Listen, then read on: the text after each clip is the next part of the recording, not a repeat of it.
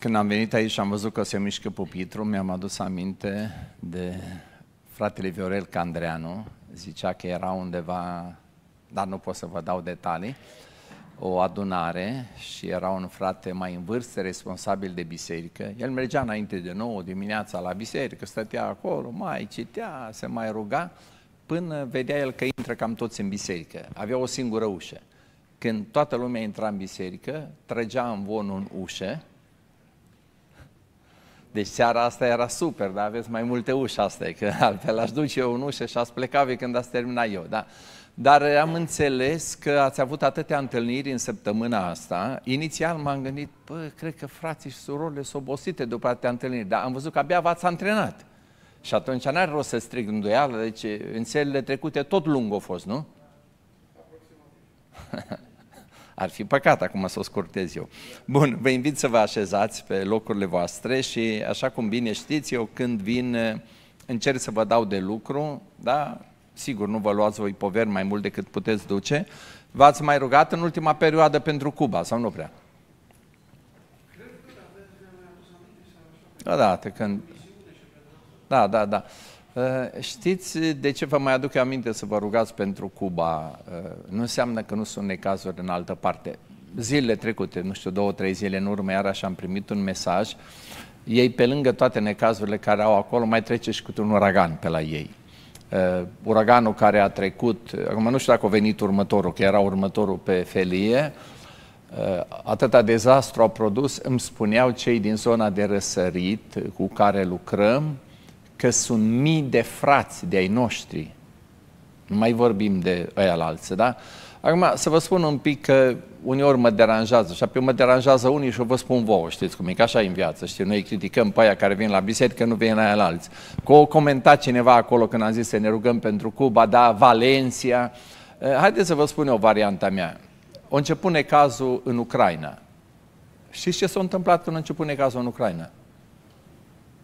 Dacă nu alții, o porni românii, din România, din Austria, tu te tirul, numai Dumnezeu știe câte zeci de milioane, sute de milioane, nu cred că... Noi arădenii nici acum n-am încheiat, acum sâmbătă iară pleacă transport, deci noi am rămas consecvenți cu treaba asta, da? Ă, nu poți să înlocuiești morții, toate celelalte, dar măcar te-ai pus pe roți și te-ai dus, ai trimis bani, da? Ă, s-a întâmplat la Galați S-au mobilizat imediat din țară, mă sună un coleg care ți-am zis că e cu misiunea, știi? O să că, băi, hai că o să facem ceva, că plecăm cu microbuza. Băi, Oane, ce microbuz, măi? Pune tu mâna, sun la fratele, la sun eu să spun un tir la dispoziție, apoi nu s-a putut duce cu un tir, s-a, putut, s-a dus cu un tir și patru microbuze, știi? Pe lângă bani și toate cealaltă și continuăm. Pentru că te poți duce. E și aproape, ai și linii deschise. Spuneai foarte bine, noi avem frați în Ucraina pe care ajutăm. Voi credeți că în Rusia nu sunt frați pe care, vai, ce nenorocire acolo. Dar nu poți. E altceva, nu poți, da? S-a întâmplat la Valencia, domne, mare Spania. Deci, cum să vă spun, când se întâmplă într-un loc unde în jur ai putere, ai cine, ai inimă, e necaz, dar nu-i tragedie. Știți care e problema cu Cuba? Unul, că ei, acolo e ca la prorocul Isaia. Zice, Doamne, am văzut că eu am buze necurate și toți în jurul meu sunt ca mine.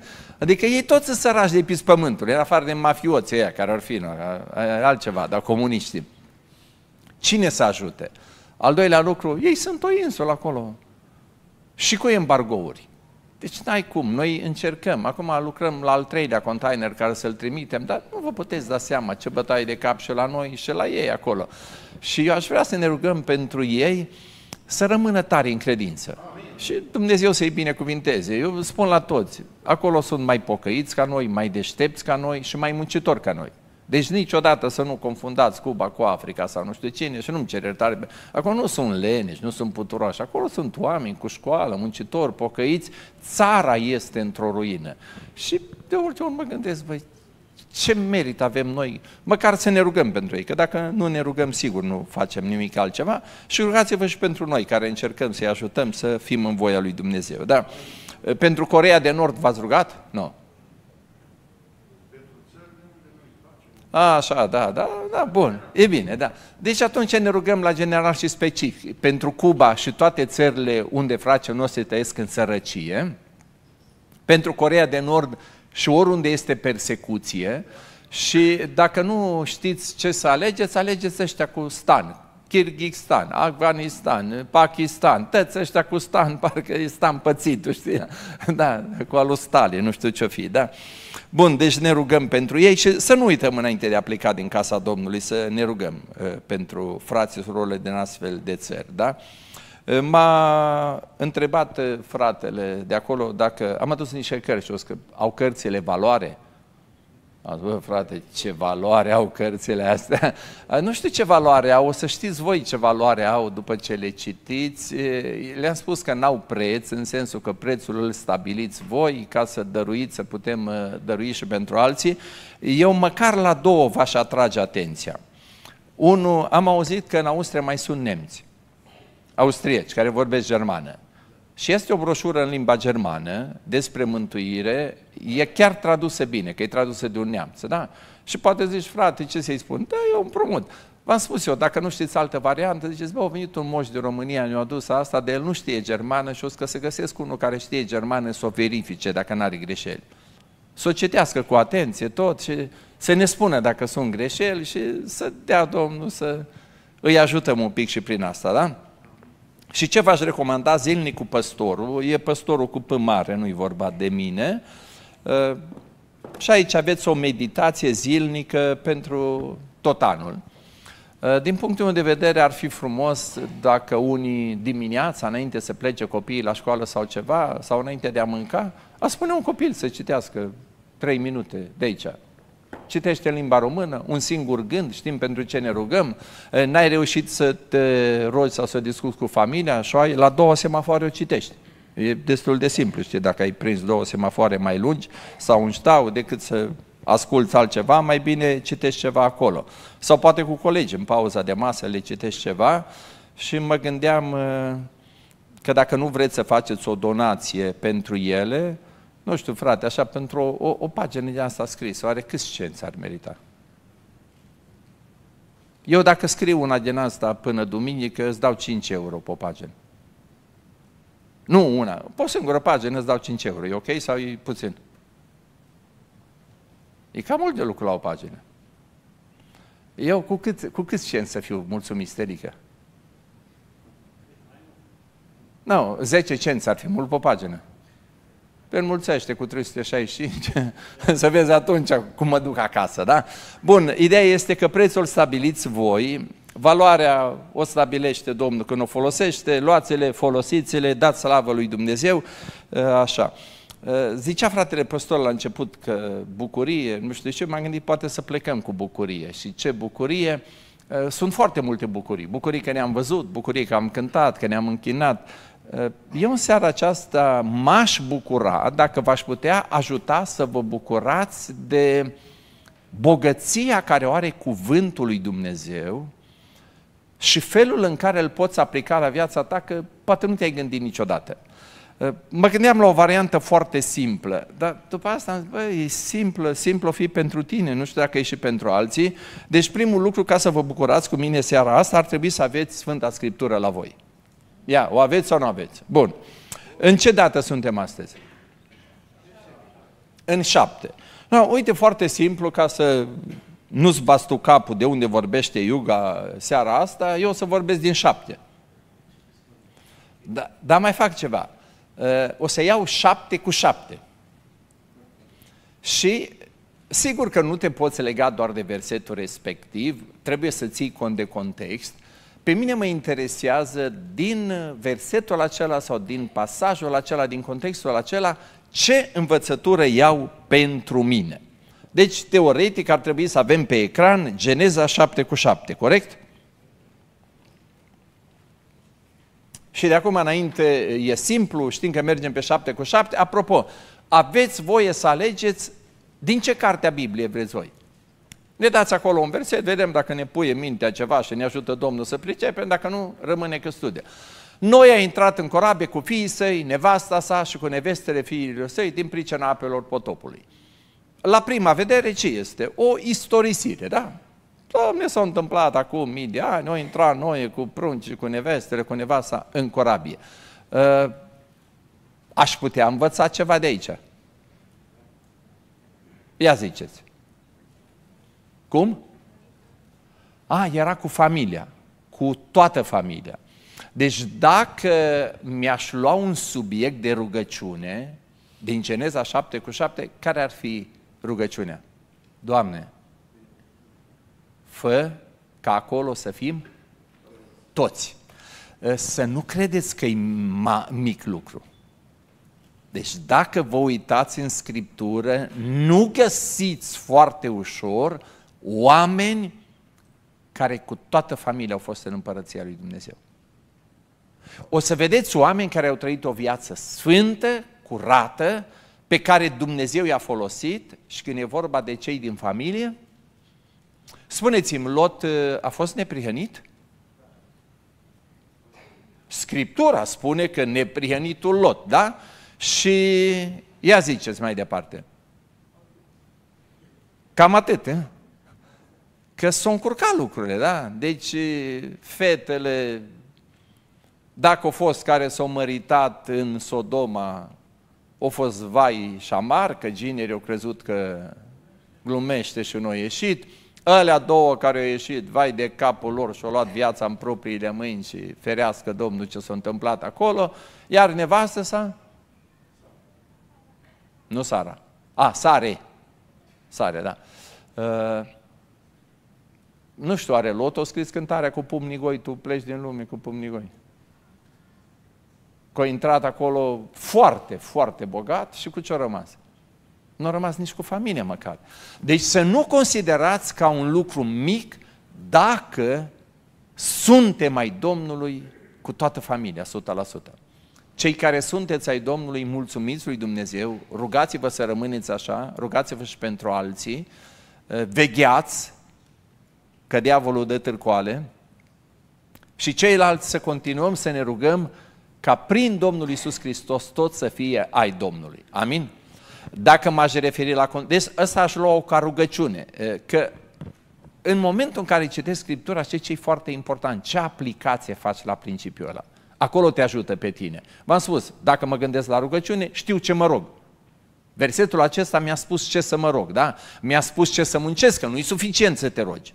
Noe nu doar s-a rugat ca tot să fie în corabie. Noe a și muncit. Și dacă m-aș duce pe varianta asta, a spune, am învățat din experiența lui Noe că de Dumnezeu trebuie să asculți până la capăt. Deci nu merge, ai fost neprihănit înainte să-ți vorbească Dumnezeu cu potopul. Fain, și? Dacă te oprești acolo. A venit Dumnezeu, ți-a descoperit planul lui și începi să construiești corabia. Și nu știu, după 20 de ani ce faci? Te oprești. Și cu ce rămâi? Cu o epavă, cu o ruină? Deci trebuie să te duci până la final și când ai terminat lucrarea care ți-o dă Domnul pe o etapă, asculți de Domnul în următoarea etapă. Ești cu Domnul neprihănit înainte, apoi asculți de Domnul pe tot parcursul cât construiești corabia, iar când vine o altă, că noi tot așa am putea spune, nu, Doamne, am împlinit-o și pe asta. Ai împlinit-o și? Păi fă pasul următor. Acum că ai împlinit-o, intră în corabie. Acum că ai intrat în corabie, ai grijă cum te comporți în corabie. Acum că ieși din corabie afară, ai grijă cum te comporți afară. Și ați văzut că noi a încurcat-o un pic după ce a ieșit din corabie, da? Bun, Geneza 7 cu 7, avem de lucru avem, ascultători de Domnul până la capăt în toate, iar ca rugăciune ce ne rugăm? Eu și familia mea. Bun, care ar fi următorul? Cei de la calculator știu. Exod 7 cu 7, sigur, ia să vedem, l-ați afișat sau nu l-ați afișat? Hai că pentru voi e mai ușor decât pentru noi, că nouă ni se mai lipesc paginile. Moise era în vârstă de 83 de ani, iar Aron de 80, de 80 de ani, iar Aron de 83 de ani, când au vorbit lui Faraon. Na, ce îmi spune mie? Din nou, o istorie cu mii de ani în urmă și îmi spune despre doi oameni care s-au dus și au vorbit la un altul. Ce, ce să înțeleg de aici? Ascultați-mă, pe mine Mă interesează istoriile și nu mă interesează, că mă interesează pe mine Moise, Aron, Faraon, până la urmă e treaba lor, e viața lor, răsplata lor. Întrebare, eu, pentru mine, iese ceva de aici, învăț ceva de aici. Mă, ești pe aproape de gândul meu. Zi mai departe.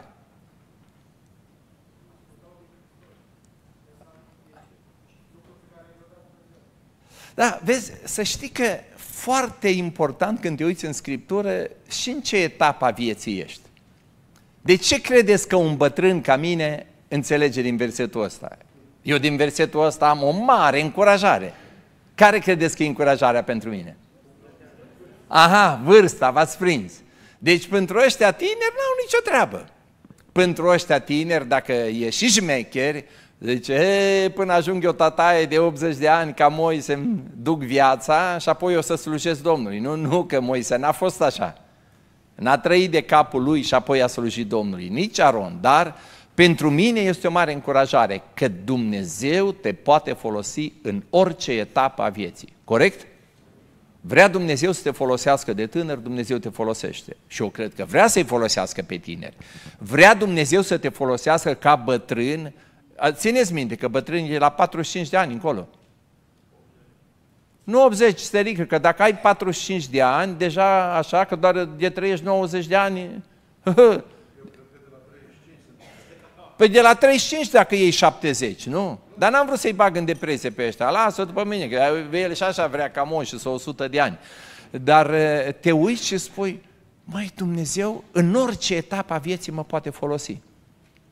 Și nu oricum.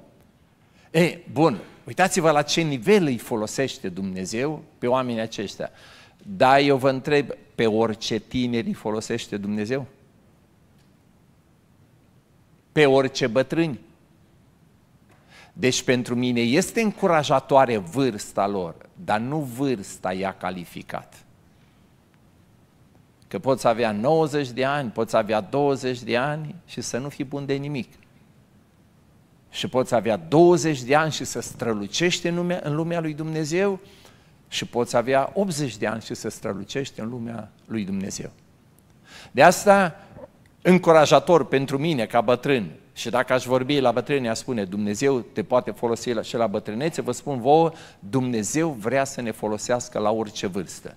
Și cea mai frumoasă vârstă în care îl poți sluji pe Dumnezeu, știi care este? Vârsta care o ai acum. De ce? Să vă fac o mare descoperire, surorilor. Mai tinere ca astăzi nu o să fiți niciodată. Deci n-ar rost să visați la tinerețe. S-a dus tinerețe, flori albastre, aș vrea Domnul să mă folosească în tinerețe, în a doua tinerețe, da? Iar mai bătrâne surorilor, Ei, am vrut să zic să dea Domnul să ajunge, dar și așa să supără, știi? A, vrei să îmbătrânim, știi? E, nu, eu o să zic mai interesant, mai bătrâne s-ar putea să nu ajungeți. Adică de unde să știți că o să ajungeți voi ca Ana? Frate, am citit în Scriptură că aia la 80 sau 80 Nu. Acum, la vârsta asta, iubește-L pe Dumnezeu și slujește-L pe Dumnezeu. Amin? Doamne, ce faină e Biblia, din lucruri la care nu te-ai gândit niciodată, ei adevărul pentru tine astăzi. Bun, cu două ne-a ieșit, și cu Geneza și cu Exod. Ia să vedem. Sper că nu ne dai Leviticul. Hai să-l încercăm. Deci Leviticul, teoretic, na, greu e, așa Auzi, fratele ce că merge. Cu jertfa pentru vină este ca și cu jertfa de ispășire, aceeași lege este pentru amândouă aceste jertfe. Și nu mai continui, ca să nu ziceți că îi aparține ceva și preotului, dar a sublinia asta, este aceeași lege pentru amândouă. Legea cui? Aha. Deși și am înțeles de aici, când e vorba de jertfe pentru Domnul, regulile stabilește cine? Domnul. Dacă vrei să faci ceva pentru casa ta, regulile stabilești tu. Dacă vreau ceva pentru mine, regulile stabilesc eu. Dacă vreau să-i aduc lui Dumnezeu o jertfă, nu eu stabilesc regulile. Că, Doamne, mie mi-ar conveni așa, mie mi-ar fi mai ușor așa, eu cred că mai bine așa. Dumnezeu spune, jertfele mele, regulile mele. Corect, surorilor? Plăcintele mele, rețeta mea. Îți convine, frate, eu că o mănânci, nu? Dispari. Mi se pare normal. Dar nu știu de ce când e vorba de munca noastră și domeniile noastre, spui, domne, astea sunt regulile mele. Eu așa fac, îți convine, nu? Am plecat. Eu țin la anumite chestii. De ce când e vorba de noi, suntem atât de gata pentru lucrurile noastre să fie regulile noastre, iar când e vorba de Dumnezeu, facem alergie că Dumnezeu, pentru lumea Lui și pentru jertfele plăcute Lui, face regulile Lui. De ce facem așa de mare alergie? Păi eu vă întreb, cine trebuie să primească jertfele noastre? El? Cui trebuie să-i fie plăcute? Și ne deranjează dacă El ne spune, din potrivă noi ar trebui să spunem, Doamne, slăvit să fie numele Tău, că ne spui regulile, că dacă noi n-am ști să-ți aducem jertfa după regulile Tale, ar fi degeaba. Țineți minte unul care a adus jertfă și s-a supărat foarte tare. Sigur că evreii s-au supărat foarte tare când Dumnezeu a spus, eu nu găsesc nicio plăcere în jertfele voastre.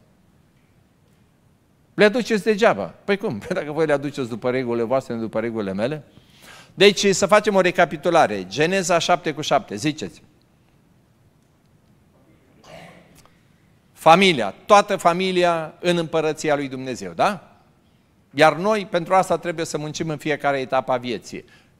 Exodul, La orice vârstă, Dumnezeu ne vrea pentru El și ne poate folosi. Leviticul, jertfele mele, regulile mele, așa iese binecuvântarea, da? Care ar fi următoarea? Numeri? Am, am o întrebare. A fost cineva curios să uite cam câte cărți au capitolul 7? Ca să știți cam la ce oră plecăm. Da, păi nu scrie că tot ce începe duce la bun sfârșit. da, dar zice, nu, și Domnul a făcut lumea în șase zile. Am înțeles, no, bun, deci nu trebuie toate seara asta. De... Cum? A, tu ai vrea numai șapte, da, am înțeles, e spre ce predică cu șapte puncte și aia e lungă, da? A dat două care și patru boi fiilor lui Gershon, după cum cereau slujbele lor. No, dacă și de aici am scoateți o idee clară și practică, sunteți geniali. Ce treabă avem noi cu carele și cu boii și cu fiii lui Gershon? Cum? Cum? Uh, da, pentru că voi vă uitați la mine, nu în Biblie. Că dacă v-ați uita în Biblie, ați vedea mai multă lumină decât vedeți din chelia mea despre ce e vorba acolo? Normal că dacă nu avem timp să citim, deci noi uh, nu putem face așa. Seara asta facem un exercițiu și îi ajută mai mult pe ea care știu un pic contextul, au un pic de Biblie în cap sau care se uită un pic, să vă spun ce ați putea face. Până vorbesc eu, voi să vă uitați la un capitol din altă carte, așa, și să spui, frate, eu vreau pe ăla și ne dai și ideea, că între timp l-ai citit și s-ai notat. Uh, vin niște căpetenii care aduc ca dar cară și boi. La Moise. Dumnezeu spune, primește darurile lor, că v-am spus, regulile lui Dumnezeu pentru lumea. Moise nu poate face ce vrea el. Chiar dacă ăștia au venit cu șase Mercedes-uri noi nouțe, sau erau microbuze din alea noi nouțe, știi? Moise a zis, bă, le-aș lua, dar e vorba de lucrarea Domnului, stai să-L întreb pe Domnul dacă le vrea sau nu le vrea. Și Domnul zice, primește, dar spun ce să faci cu ele, da? Deci dacă vă uitați în versetul 2, mai mari lui Israel au adus darurile, Domnul a vorbit lui Moise și a zis, ia de la ei aceste lucruri și să le întrebuințezi pentru slujba cortului întâlnirii și să le dai levițiilor, fiecăruia după cum cere slujba lui. Moise a luat carele și boii, le-a dat leviților și aici ajungem noi, a dat două care și patru boi lui ăștia, după a dat la următoare, dar dacă vă uitați, de fiecare dată se repetă o expresie. Știți care este expresia? Cum cereau slujbele lor. Na, v-am dat 85% din idee, spuneți-mi care este prag. Că dacă o lăsați pe mine, nu o să vă placă.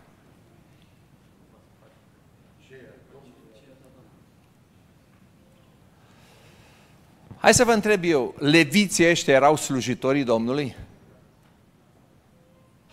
Și nu trebuiau ei să fie cei mai săraci, să umble pe jos și să n-aibă nimic.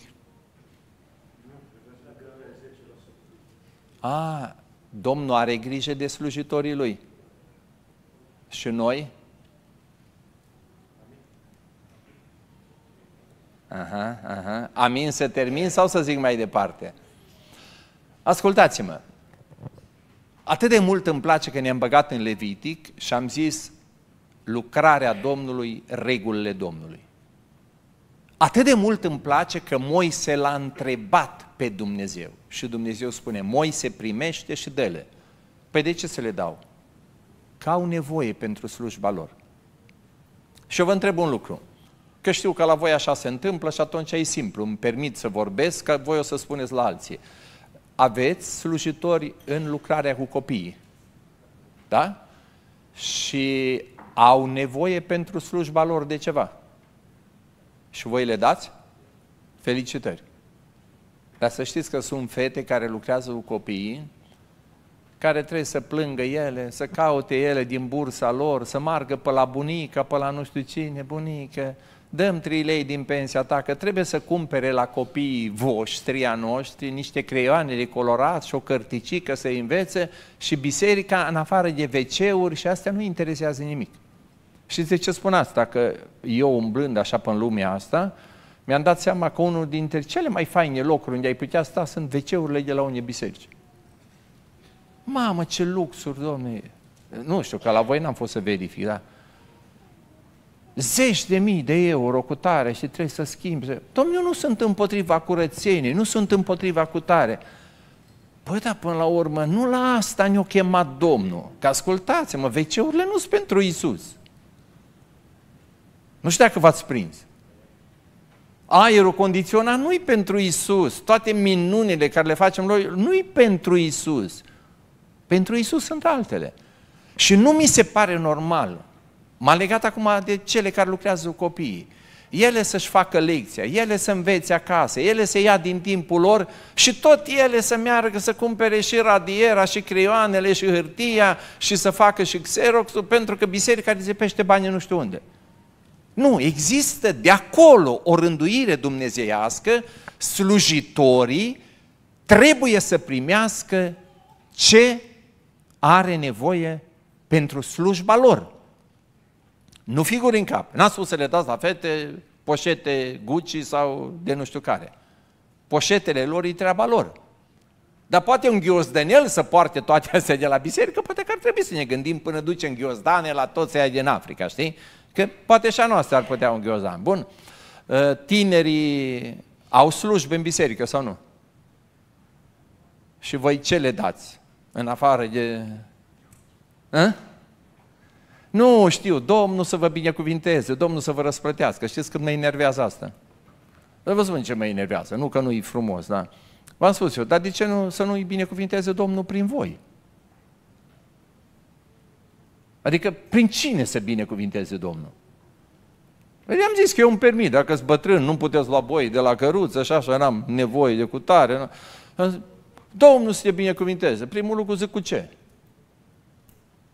Eu vreau să știu ce ai în minte. Eu că Domnul să te întărească, zic ca betonul sau ce vrei să mă întărească. Bă, fii specific, văd dacă zic ca mine. Eu știu ce ai tu în minte, Domnul să mă înțepenească, știi? Și zic așa, bă, dar de ce nu poți veni tu la mine să spun, frate Iuga, Domnul hotărâs te binecuvintează prin mine. Unul din ăsta, barosană, vine seara după, frate, seara asta Domnul hotărâs te binecuvintează prin mine. Cum? Și te duc la masă. Bă, zic, n-ai nimerit-o, că nu mi-e foame. Deci Domnul mă binecuvintează prin chin, dacă mi-e foame, mă duc la masă. Pe dacă eu am mâncat, acum ce mă duci să... Bine, să mă duc la o mâncare pur românească, un kebab pe la 11 noapte și o să mă binecuvintează. Bă, mă nenorăcești la vârsta mea cu însuorile tale. Cu, da? Ce vreau să vă spun? Îi felicit pe toți cei care se gândesc la asta Și ar trebui să învățăm pe alții. Îi ajutăm pe cei care lucrează cu tineri, îi ajutăm pe cei care lucrează cu copiii. Dacă am avea bătrâni, da, care se ocupă, că sunt biserici care au departamentul bătrâni, departamentul văduve. Că dacă au multe văduve, au departamentul văduve, vin la rugăciune. Noi numai le binecuvântăm dacă au nevoie pentru slujba lor. Nu știu, au nevoie de două pachete de ceai, să facă un ceai, au nevoie de trei corcofențe din astea, nu știu cum să le duc, chexe sau cum e pe chineză, da? Păi ce frate, ele nu pot? Nu, știți care e întrebarea? Nu dacă pot ele din pensia lor. Întrebarea dacă măcar mă gândesc eu. Și să vin să zic surorilor, nu trebuie pentru sâmbătă să vă dăm, să vă cumpărați chec din ăla mai nou, să nu vă doară proteza, nu chexe. Dacă soara spune, har Domnului, sâmbătă asta ne descurcăm. Slăvi să fie Domnul. Dar măcar am întrebat, măcar omul zice, bă, cineva s-a gândit la mine, la chestia asta, că așa și nu se gândesc la mult, da? Ă, slujitori aveți, că ai văzut că i-am lăsat pe ăștia mai nou. Voi slujitori în biserică aveți, așa, păstori, cu tare? Ei au nevoie de ceva pentru slujbă sau nu? Păi dacă au nevoie să-și cumpere. Frate, în particular, te întreb, dar pot să răspunzi acum, când s-o cumpăra biserica ultima carte, de asta cu, nu știi, din alea de povești. O zis, frate, păstor, uite, a apărut o Biblie specială, a apărut un comentariu cu tare și ne-am gândit să-l facem cadou. Cred că era în concediu când te-a căutat. Atât, a, atât au fost. De ce? Nu poți să spui adevărul în Sfânta Biserică? Aha, zici că numai cei de folos. Noi de asta însă că le discutăm în particular. Știi? Acum, dar să vezi următoarea hotărâre de comitet. M-am dus la o biserică și întreb eu, mă lumina Domnul, că eu n-am lumini, știi? Întreb eu printre alte, păi zic, voi țineți la păstorul vostru. Vai, frate Iuga, cum să nu ținem? Zic, băi, dacă Doamne ferește, păstorul vostru ar avea un accident cu mașina, Zic, l-ați ajuta? Cum să, frate, dar e păstorul nostru, știi, început e că ne hrănește spiritual, are grijă de copiii noștri. Bă, zic, slăvit să fie Domnul. Bă, zic, dar asta, dacă dă, face un accident, își rupe un genunchi, poate îl costă operația, vă 15-20 de mii de euro. Frate, să ne ferească, Domnul, nu înțelegi că e a nostru. Zic, mă, dar în loc să plătiți voi operația aia, nu v-ați gândit să-i faceți uh, acum cadou niște cauciucuri de iarnă la mașină? Că zic că mai ieftin decât operația. El tăti pe drumuri cu tare, avea niște din astea tăte uzate, praf și pulbere, cum tăpâneam. Na, na, na. Zic, bă, frate, nu ne-am gândit. Păi zic, asta e că nu vă gândiți. Zic, băi, e mai ieftin să-i dai patru cauciucuri din astea, nu? Cât o costa? 400 de euro, frate. Bă, între 400 de euro și 20 de mii. Și o operație, nici nu mai știe dacă e piciorul bun sau ceva. Păi nu, să și le cumpere el. Păi el și le poate cumpăra. Sau nu și le poate cumpăra, depinde. Dar aici, de fapt, noi gândim și noi ne verificăm cât pricepem noi lucrarea lui Dumnezeu, cât ne interesează lucrarea lui Dumnezeu și cât simțim cu cei care poartă poverile noastre. Că ascultați-mă, dacă cineva crede că poate plăti slujirea unui slujitor, înseamnă că nu aveți habar de ce înseamnă slujire. Eu acum să vorbesc în dreptul meu, ca să nu, că v-am spus, eu sunt expirat și nu mai e, dar măcar să-i ajut pe alții. Să nu înțelegeți că mă plâng sau că nu ne poartă Domnul de grijă. Întrebarea mea este, de ce vreți numai alții să aibă răsplată în cer? Că ăia care ajută, sigur o să aibă răsplată în cer. Dumnezeu e drept, slăvit să fie El. Și Dumnezeu ne-a purtat de grijă și ne va purta de grijă, dar ar fi rușinos să ne poarte grijă tot prin văduva și orfanul de nu știu unde și să nu ne poarte de grijă prin aia pe care îi slujim. Că Biblia spune, e vrednic slujitorul de ce are nevoie pentru slujba lui, da? Foarte interesant. Și am zis cât ați plăti. Spuneți-mi așa, o, o luptă cu duhurile necurate, alea drăcești, care sunt în biserici, cam cât merită? Trei zile de post. Dă-le, frate, că e ok, da. Păi nu, că pe mine m-a sunat cineva îngrozit, o că, frate, am început să mă rog pentru o familie și o că problemele de la ei din casă vin la noi. O că eu nu mă mai rog în viața mea pentru nu, frate, mie nu trebuie de astea în casă, la mine rog de matale. Eu n-am ce face, eu trebuie să mă rog. Bun, deci uite că am lungit-o, numeri 7 cu 7, mai bine săream, da, ce numeri 7 cu 7 să ajungem la... Deci slujitorii trebuie echipați corespunzător. Cum cer slujbele lor? Nu trebuie drone, dacă nu le trebuie drone, nu le trebuie, dar dacă are nevoie de ceva, în primul rând, eu cred că ar trebui să se gândească, mie mi-au făcut bucurie în viață unii, e adevărat mai era, care au început să gândească. Și la un moment dat ce a zis o soră, din biserică, de la noi. O că, frate, eu, că biserica, de ce nu vă cumpăr un costum? Păi zic, de ce să-mi cumpere? Că că la frații ortodoxi. Păi ăștia n-au uh, tot echipamentul necesar. Cine crezi că îl plătește? Biserica. E preotul lor, îi dă echipamentul de slujire, tot. Adică nu se duce preotul nici cu praporii lui, nu se duce nici cu asta, nici cu mantia, toate ele ia biserica, știi? Am zis că, bă, ce te-a luminat Domnul, dar nu știu cum să-i luminezi pe altul. Nu mi-a trebuit, că nu-mi trebuie. Dar te bucur când cineva gândește, o să bă, stai un pic. Noi toți ne bucurăm, zice, fii atent la lucru ne dă salopete, ne dă cască, ne dă bocanci, ne dă echipament și de protecție, eu știu, la, ne dă apă minerală că e prea cald, ne dă lapte că e prea mult praf, n-ați auzit din astea. Și la biserică ce le dăm? Le scoatem ochii că... Ai, interesant e cuvântul, e numeri șapte cu șapte, frate, ce am ajuns noi să vorbim, da? Hai să trecem mai departe, că se duce noaptea și noi...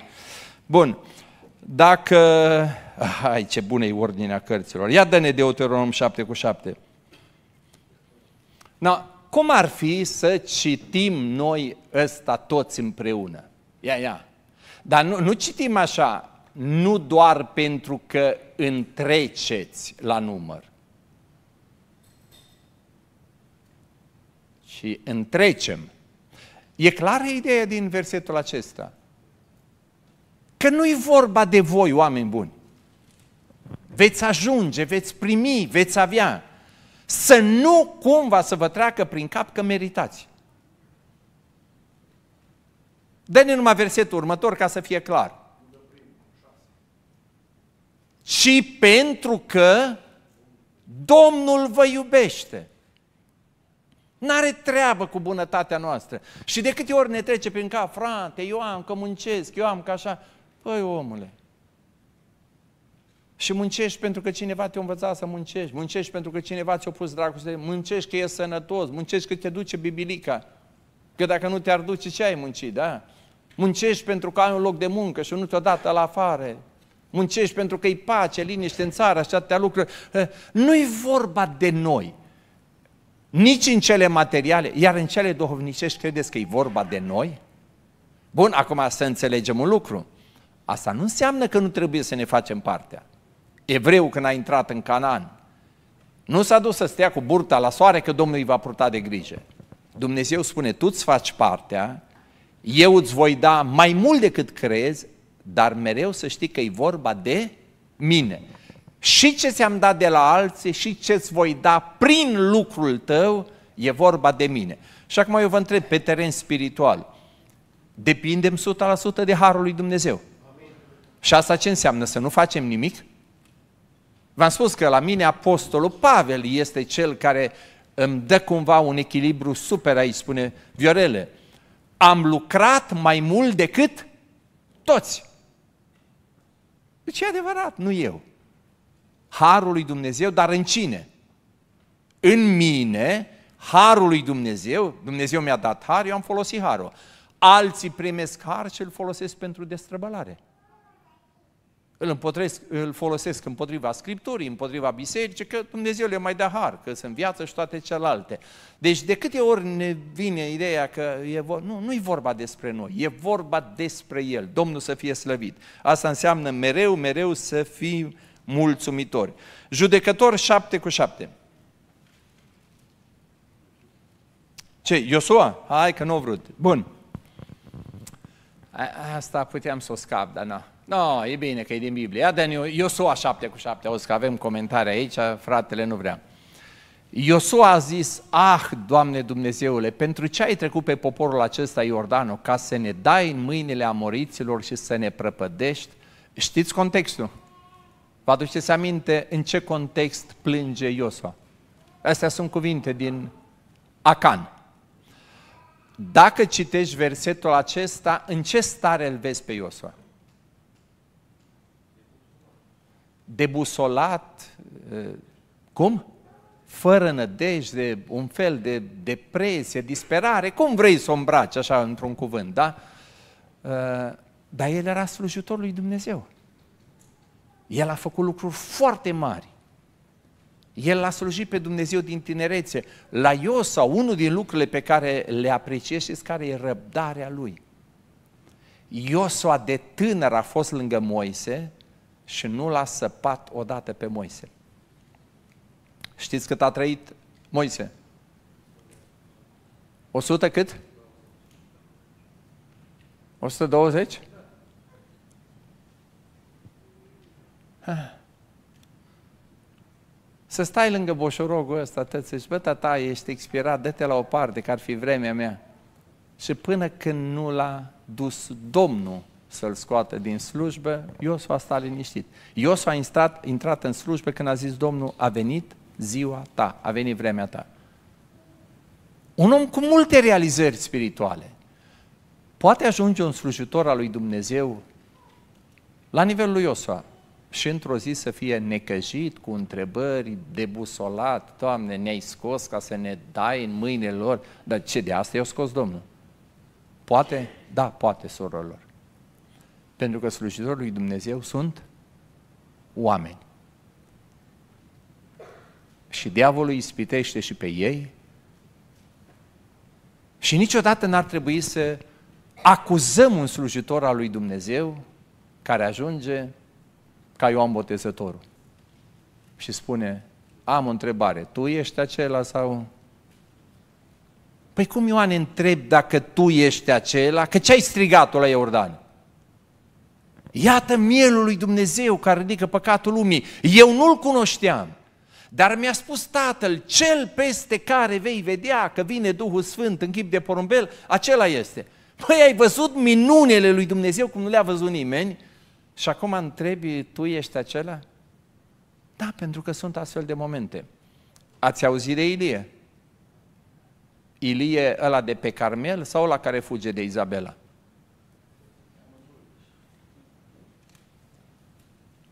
Erau clonați sau era una și aceeași persoană?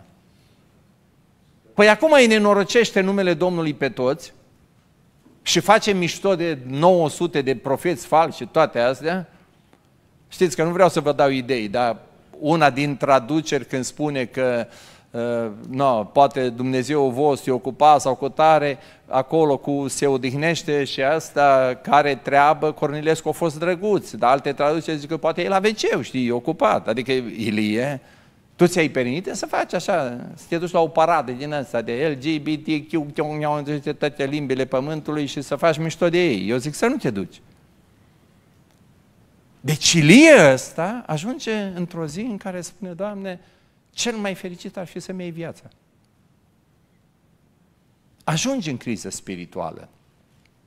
E bine că nu rămâi acolo. Dar am o întrebare. Cum a ajuns Iosua în starea asta? Cine l-a ajutat? Acan? Câte vreme faci parte dintr-o familie, nu poți face ceva și să nu afectezi toată familia. Poate asta trebuie să o știe și copiii, și soții, soțiile. Frate, ce viața mea? Bă, nu-i viața ta, e viața noastră. Noi nu. Și dacă te ștergi de pe numele meu, tot a meu ești. E cinstea mea sau rușinea mea? Faci parte dintr-o biserică, nu să spui, Domne, viața mea, relația mea cu Dumnezeu. Nu, tu faci bucurie întregii biserici sau durere întregii biserici. Câte vreme faci parte din poporul Domnului, faci bucurie celui de lângă tine, îi faci supărare sau mâhnire sau bucurie Domnului. Acan, cu a avut el niște figuri în cap, duce și poporul în rătăcire și uite unde ajunge slujitorul lui Dumnezeu. Dar când ați auzit ultima dată, Doamne, da, ce, ce, da, am avut nicio treabă cu ce vorbesc eu seara asta, știi? M-am trecut mie prin cap că vorbesc asta. Ați auzit vreodată vreo rugăciune în biserică? Să spună vreun frate, vreo soră, Doamne, îl văd pe păstorul nostru lăcrimând, sau îl văd că abia mai predică, care dureri în suflet, numai trebuie să-și țină slujba, că nu poate să ne dea drumul acasă și să zică iartă-mă că din cauza mea.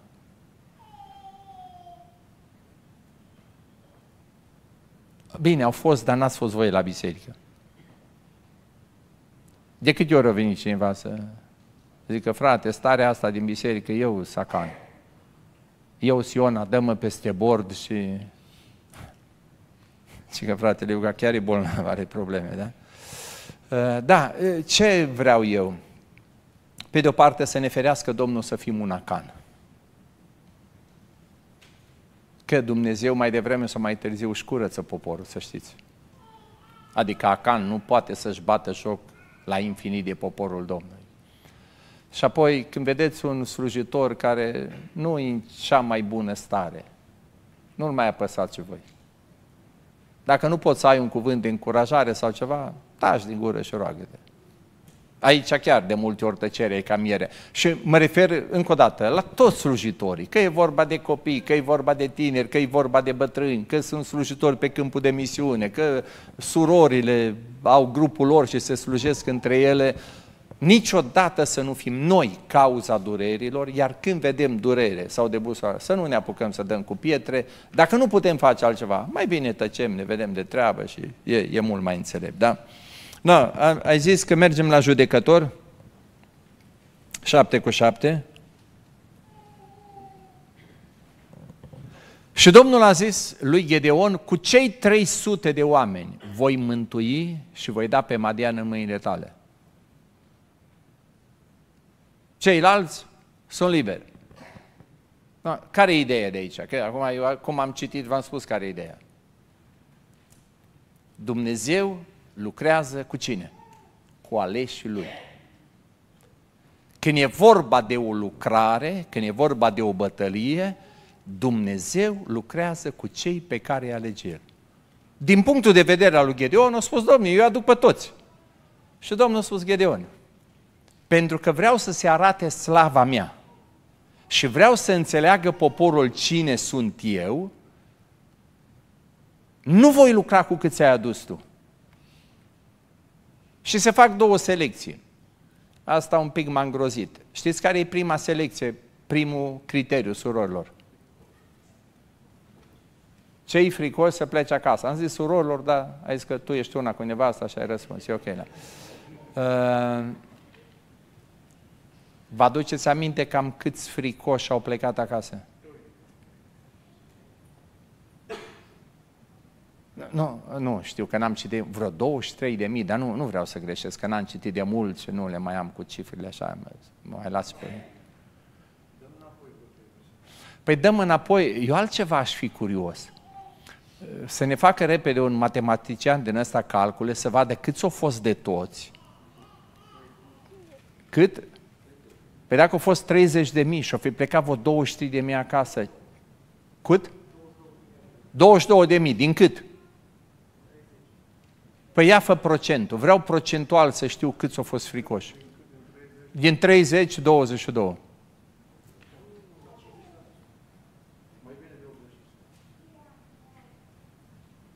Băi, fratele meu, Păi calculatoare, scoateți telefoane, minuni, inteligență artificială, unde e? Cât? 27? Păi asta, 97? Păi frate, 97% din poporul Domnului să fie fricoși. Dar pe față, când o zis, care sunteți fricoși, plecați acasă.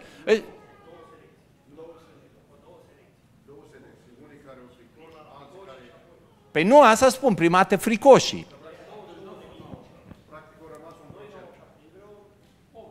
Nu, 80 cât o fi, pă frate și așa, și jumătate dacă ar fi mă îngrozește, știi? De asta v-am spus, eu matematică am făcut-o pe smântână, nu m-am băgat aici, nu mă duceți în eroare, da?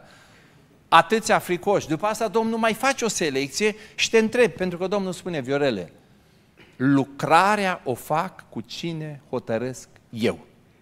Sunt lucrări care le fac cu toți și sunt lucrări care le fac cu unii. Frați și sorori, mulțumiți lui Dumnezeu când va alege să faceți o lucrare. Și nu vă supărați că nu sunteți pentru a... De ce? Pentru că nu vă calificați. Pentru că nu mă calific, hai să vorbim deschis. Deci Dumnezeu a știut, de asta a pus criteriile, că a știut ce în inima lor și cum sunt ei, din ce a luat sunt făcuți. Și atunci spui, frate, eu vreau să mă folosească Domnul. Dacă vrei să fii între cei 300, califică-te pentru a fi între cei 300. Frate, și eu vreau să fiu folosit ca Iosif. Califică-te. Vreau să fiu un Daniel. Califică-te. Vreau ca cei trei tineri. Păi califică. A, zice, eu nu-mi risc viața, eu fac niște șmecherii, dar să fiu folosit ca ei. Nu, nu așa merge. Dumnezeu lucrează cu aleșii lui, dar Dumnezeu știe pe cine să aleagă, slavă lui, da? 1 Samuel 7 cu 7, vă mai dau ceva și apoi vă mai dau o idee și apoi vă chem la rugăciune. 1 Samuel 7 cu 7. Filistenii au aflat că fiii lui Israel se adunaseră la Mitzpa, s-au adunat să se închine, să se pocăiască, vă spun eu, de asta s-au adunat, și domnitorii filistenilor s-au suit împotriva lui Israel. Deci, să vedeți cât de clară e ideea. Pocăiții vin la adunare să se pocăiască. Că nu au fost pocăiți, au fost derbedei. Știi, 20 de ani fără Dumnezeu, figuri în cap, nu știu ce, că le-au fost bine și așa, dar uh, îi cercetează Dumnezeu și vin pocăiți la adunare, îi ajută și Samuel, vin, se pocăiesc, Samuel se roagă. Când pocăiții vin la adunare să se pocăiască și să fie pe placul Domnului, ce fac dușmanii? Să bucură, slăvit să fie Domnul când în sfârșit pocăiții se pocăiesc. Păi dacă pocăiții vor să se pocăiască și toate astea, filistenii zice, nu-i de bine. No, nu ne place de ei că se adună, nu ne place să se apropie de Dumnezeu, că dacă se apropie de Dumnezeu, Dumnezeu le dă binecuvântare, nouă nu ne place și ia hai să-i... Uh, uh, voi credeți că astăzi dușmanul când ne adunăm uh, se bucură? A, bun, dacă ne adunăm, nu să ne adunăm, să bucură, zice, bine că să amăgesc în biserică. Dacă ne adunăm să ne mai facem păcate în biserică, să-l criticăm pe ăla, să cutare, zice, dar duceți-vă toată ziua la biserică, numai de la biserică să mergeți în iad. Dar să ne adunăm noi, să ne pocăim sincer, să întărim relația cu Domnul, să fim ce trebuie, dracul nu se bucură. Treaba lui. Pentru că dacă vin pocăiții să se pocăiască și să ceară har dumnezeiesc, atunci atună Domnul în filisteni. Îi apără Domnul pe ai lui, slăvit să fie Domnul.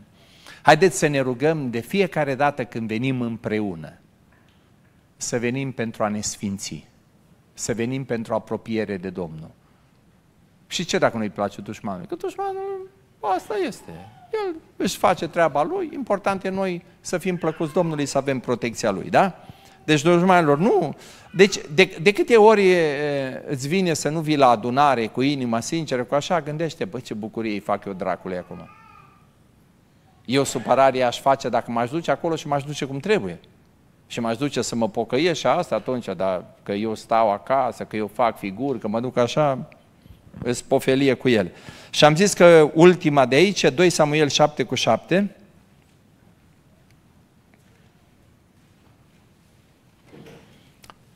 Uh, este în contextul în care, să vă explic, da? că eu m-am uitat un pic stând în bancă, contextul în care David hotărăște să-i facă Domnului o casă, să-i zidească un templu. Și știți, discută cu profetul, profetul îi spune că e ok, Dumnezeu îi spune profetului, vezi că ai vorbit de la tine, n-ai vorbit să te consulți cu mine, du-te, spune că nu apreciezi. Și, dar Dumnezeu are o întrebare, dar nu este o întrebare mustrătoare ci este o întrebare totuși de apreciere. Pe unde am mers cu toți copiii lui Israel? Întreabă Dumnezeu. Am spus eu oare vreo vorbă, vreunea din semințiile lui Israel, care îi poruncisem să pască pe poporul meu Israel zicând, pentru ce nu-mi zidiți o casă de cedru? Dumnezeu spune, v-am reproșat eu vreodată că nu mi-ați zidit o casă? V-am poruncit eu vreodată? V-am spus eu că mi-ar plăcea să-mi faceți o astfel de casă? Care este răspunsul? Nu. Și apoi începe să curgă în continuare ceva foarte, foarte frumos. Și Dumnezeu face niște promisiuni extraordinare lui David și casei lui. Dă-ne versetul mai departe. Încearcă 8, așa, acum. Pentru că nu din poruncă, ci din proprie inițiativă, dintr-o inimă bună, din dragoste de mine, pentru imaginea mea, să spui robului meu David, așa vorbește Domnul armatelor. Te-am luat de la pășune, de la oi, te-am pus căpetenie cu tare, tu ai hotărât să faci o casă, nu poți face, dar eu mă voi ocupa de familia ta. Tu vei pleca, va rămâne fiul tău Solomon, va greși, voi folosi nuia omenească, dar harul meu niciodată nu se va îndepărta de familia ta. Și prin Hristos niciodată nu s-a mai îndepărtat. Spuneți-mi, noi avem, avem noi o problemă când e vorba să împlinim poruncile Domnului. Avem o problemă. Câteodată așa. Ori să fim nemulțumiți că Domnul ne poruncește, ori că ne poruncește de prea multe ori, ori că tot nou. Uneori ne facem că nu știm că ne-a poruncit, alte ori ascultăm, dar tot mor, mor, mor, crămpănim pe acolo. Știți ce a făcut David? David n-a stat să-i poruncească Dumnezeu. David a luat el inițiativa să facă ceva frumos pentru Domnul. Întrebare pentru surori. Uh, vă place când vă aduc bărbații flori, nu? Să zicem, ziceți Dana, ca să iasă bine. Uh, dar când v-ați bucura mai mult de flori? Când îi spune tu, băi, dacă de seară vii fără buchet, îți trânchezi ala în cap de nu te vezi cu nimic, de seară vii cu flori, ai înțeles? Dacă vrei să mănânci mămăligă, de seară vii cu flori. Asta ar fi o variantă.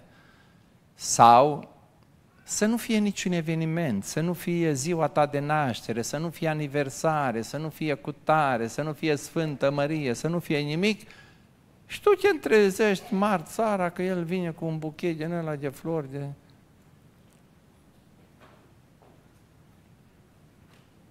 Ha? V-ar întreba că aveți probleme. Da, da. Păi, exact la asta mă gândeam, știi ce pot înțelege ele?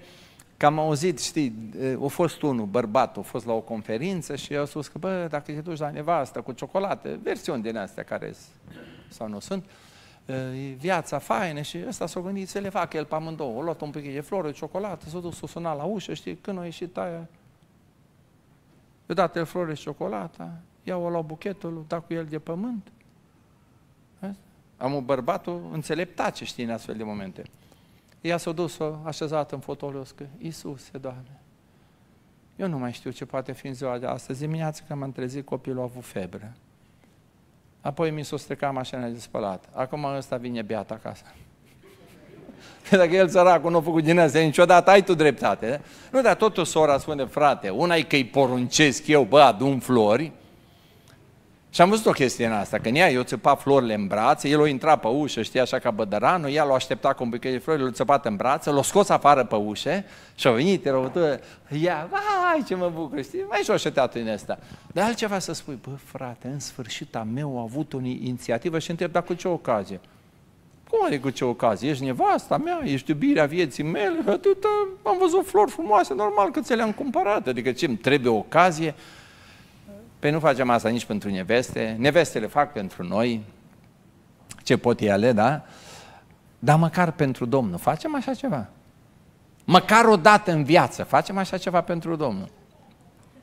Să zic, băi, ți-o poruncit Dumnezeu asta? Nu mi-a poruncit. Și cum faci? Păi ce, eu aștept să-mi poruncească Dumnezeu să fac lucruri frumoase pentru El?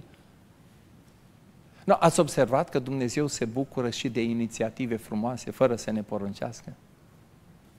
Poate ne gândim ce am putea face în următoarea perioadă frumos pentru Domnul. V-am spus eu, nu v-am spus. varianta mea, care nu trebuie să fie așa, da? Practic, merită să fie luată în discuție. V-ați întrebat, surorilor, de ce i-a dat Maria parfumul Domnului Isus? Cum i-a venit ideea să-i dea lui Isus o sticlă de parfum? A, bună, e altă treabă, știi, dar nu, nu vine tot. Aia, deci i-a dat un litru, că nu a avut 25 de litri, că e pe toți. Să vă spun, poate fi varianta voastră super spirituală, Maria a avut o inspirație. Poate fi varianta unui frate prac care spune, bă, frate, nu a avut nimic altceva. Singurul lucru valoros că a avut o fost sticlă de parfum și o dat lui Isus și a avut valoros. Eu am și varianta mea, oricare poate fi adevărată. Care? A, că a făcut lucrul acesta, da, a, bun, e rezultatul? Hai, că acum ajungem la ultimul punct din predică, da? Că acolo mergem, și de la David și de la Maria. Dar eu m-am gândit într-o zi, cum mai practic așa, am zis, dacă Maria o sta și s-a gândit, măi, cât a făcut Isus pentru mine? Aș vrea să fac și eu ceva special pentru El. Și ce-a zis? S-a dus la Isus și a spus, Doamne Iisuse, nu te supăra pe mine, știu că nu, am o întrebare. Eu aș vrea să fac ceva frumos pentru tine. Dar nu-s nici Petru, nici Ioan, nici Toma, nici Matei, cu tare. Pe mine nu mă duce capul cât îi duce pe ăștia. Eu sunt mai simplu, știi ce m-am gândit? Îmi poți da tu o idee ce aș putea face eu deosebit pentru tine? Ce credeți că i-ar fi răspuns Iisus dacă Maria îl întreba pe Iisus? Pentru că Iisus știa sinceritatea inimii, corect? Putea să spună Iisus, Maria, eu știu inima ta. Vrei să faci ceva special pentru mine? Când vin la voi, data viitoare, ungem trupul cu mir. Asta vrei tu, Iisuse? Da, asta vreau eu de la tine. Asta crezi tu că e special? Sigur e special, Maria. Iisuse, dacă asta zici tu, asta o să fac. Nu a priceput Maria ce înseamnă cu mirul, cu tare. Dar au spus Iisus, bă, voi știți ce a făcut femeia asta? Ce n-a făcut nimeni niciodată și nu va face pentru mine. A făcut ceva unicat. Acum, dacă aveți suficientă inspirație, faceți ce inspirație aveți. Dar dacă vreodată ești într-o zi și spui, frate, eu aș face ceva frumos pentru Domnul Isus, dar n-am nicio idee, îți dau eu o idee. Discută cu Isus. Isus, aș vrea să fac ceva frumos azi pentru tine. S-ar putea să zică, vrei să faci ceva frumos pentru mine? Da. fă o tură de sarmale lughiță.